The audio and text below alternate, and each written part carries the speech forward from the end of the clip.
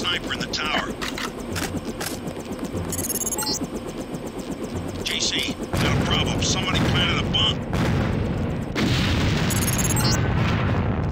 I don't believe it. JC, we lost Jock. All systems were operating normally on that chopper. It must have been a bomb planted by an MJ-12 saboteur.